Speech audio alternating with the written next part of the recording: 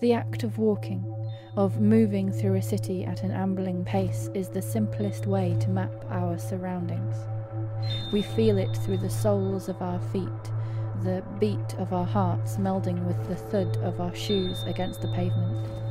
You've got more time to take in your surroundings when you're walking, haven't you? Like, when you're walking through somewhere, you're not rushing through it. You can you can absorb the atmosphere of a place a lot better. Time rushes past, as though sped up.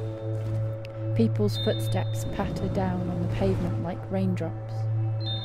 I've been collecting stories with umbrellas, each umbrella designed to pass through the hands of whoever needed the shelter. People were able to speak to me, able to call a number written on the umbrellas, while the rain fell down.